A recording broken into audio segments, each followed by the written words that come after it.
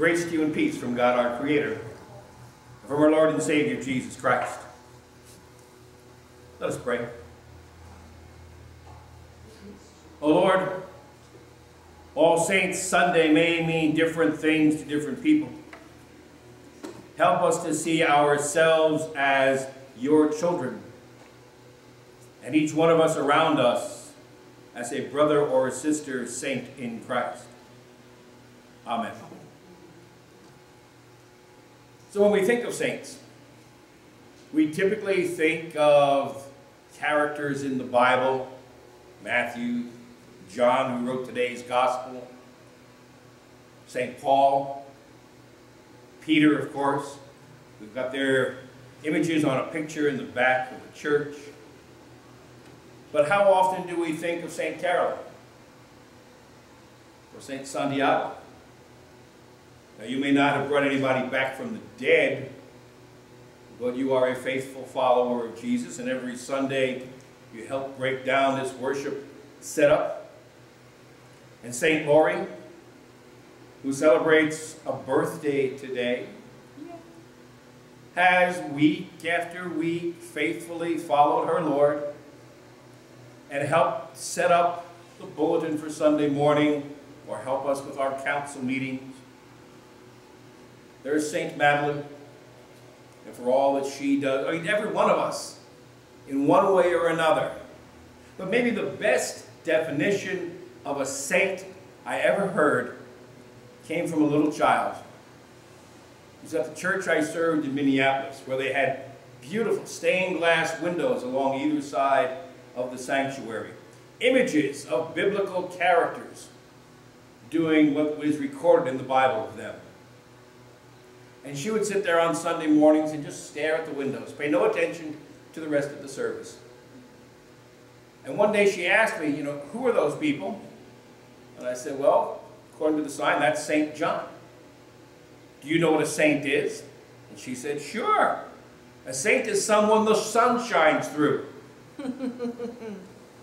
what a wonderful definition of a saint.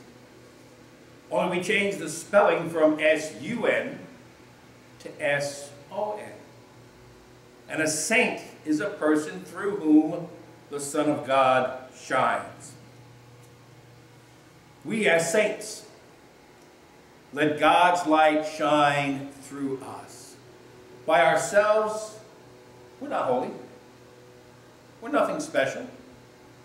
But when God flows through us, we become the hands of God. We become the face of God to people who need it. As we gather together for church, we function as saints when we support one another. St. Paul writes that we bear one another's burdens and so fulfill the law of Christ which was to love one another as I have loved you. I like trees. And I'm thinking maybe we should grow a whole row of trees all around the front. So this way when the wind blows, we won't wind up with a mountain of tumbleweed out there by the gate. but I don't think that's too practical. Although wouldn't it be cool if we had these really big, tall trees? Did you know that a redwood tree is the tallest living structure in the world and probably the oldest living structure in the world. Sometimes they rise as high as four or 500 feet, and they're probably about 2,000 years old. Now you would think that a tree that's 450 feet high would have a root system that sinks down probably as deep into the earth as the trunk rises into the air. You would think that, but you'd be wrong. Actually, it's the opposite. Redwood trees have a very narrow and shallow root system.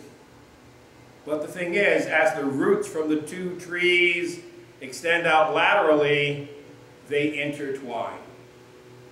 And so all those trees are connected to one another through their root system. So that in the event of a horrible storm, we need not worry about one of those trees falling because the other trees are helping to support it. And so it is we, as Christians, have a root system that intertwines the same way. And when one is struggling, others are there to provide strength and support. But not only do we reach out to one another, but we reach out to those who have not yet heard the message of Jesus, future saints. You don't have to be anybody special, just you. You don't have to know a whole lot of Bible verses. You don't have to be an expert in theology. You're simply someone who shares the love of God with another person. You're the kind of individual about whom it can be said, she's different. There's something different about her than the other counselors who work in our office. We're all compassionate, but Christy's just a little bit different. Of course, we've known that about Christy for a long time. That's another story. Different because I know you well enough to know how well you share God's love with other people. You may not spout a lot of Bible verses to them but you reach out to them the same way Jesus would. We need each other to remind ourselves about who we are and what we can be. Once there was a monastery located back in the middle of a beautiful wood near a large open field. And people would come and visit the monastery and spend time there in prayer or maybe picnic on the front lawn, or just sitting quiet meditation. You know how it goes. Years go by, people live for half a century or more, if that's even possible. Hmm. And the monastery began to wither. And soon there were only five of the monks left, and all of them 70 years of age or older. And they began to be concerned that people were no longer coming to the monastery. The buildings were in need of repair. They were not old, young enough anymore to be able to do the repairs themselves. And they began to wonder if maybe the time had come to consider shutting down. Maybe we're just not resourceful enough anymore. And so the abbot of the monastery, the man in charge, went into town to the local church and sat and visited with the pastor who was there. And they talked with one another, and they wept, and they prayed. And the abbot asked, Is there anything that you can suggest that could save our monastery? And the pastor said, actually, no. Our church congregation is pretty much the same way. We're small, we're older, there's not many of us left. And so they prayed some more, and as the abbot was leaving, he asked, Is there anything you can share with me? And the preacher looked at him and with a quizzical expression on his face said, Did you know that the Messiah is in your abbot? And lives through one of you. And so the abbot went back and shared that message with the other monks. That one of them had the presence of the Messiah within him and was able to share that with others. And at first, the other four were very confused. But then they began to wonder which one of them it might be who had the presence of the Messiah within him. And so they thought to themselves, well, he might have meant Brother Thomas. Brother Thomas is a holy man. He knows and respects everyone. Brother Thomas is spiritually keen and insightful. Perhaps he's the one with the Messiah. On the other hand,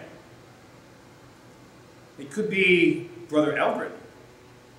Now, Brother Eldred gets crotchety at times. But when you look back on it, Eldred is always right. Always, often, very right. Maybe the preacher meant Brother Eldred. Now, surely he could not have meant Brother Philip. Philip is so passive, quiet, never says much of anything. But then he has a gift for somehow always being there when we need him. Maybe the Messiah is within Brother Philip. And the abbot thought to himself, well, maybe he meant me. I am the spiritual leader of this monastery. Perhaps I'm the one in whom the Messiah lives. Well, you really couldn't tell which one had the presence of the Messiah. But within a few days, the monks changed. Their attitude toward each other was just a little bit different, a little more caring, a little more loving. And as people would come out to visit, they would encounter these transformed monks and sensed that when they were in the presence of these monks, they were indeed in the presence of the Messiah. And it didn't matter if it was Eldred or Thomas or Philip or Robert. Whomever encountered these folks from town was able to give that impression. And so those folks came back for another visit. And they brought friends with them. And those folks came back. And they brought friends and neighbors with them. And soon, once again, people were picnicking on the front lawn and resting under the trees and enjoying the time for meditation on this beautiful piece of property where the Spirit of Christ seemed to just permeate everything. And some folks from town were so moved by the experience that they wanted to join the monastery and become monks. First one, then two, and before you know it, their numbers were growing regularly. And the monastery was as vibrant now as it had been before. Now, I don't know if you're seeing any analogy between that story and Grace Lutheran Church. I do. I see that we are small in numbers. Tommy represents our youth group. but we have the Spirit of Christ within us. The love of the Messiah flows from us to the lives of the people we touch. As we gather here on Sunday morning, it's not just for ourselves. It's so that God can touch our lives and empower us to leave here today taking with us that message of love, of forgiveness, of grace. So by all means, invite people to come and join us, visit with us, worship with us, so that they too can experience each week what you experience. Saints are people through whom the light of Christ shines. May the peace of God, which passes all understanding, keep your hearts and minds through faith in Christ Jesus. Amen.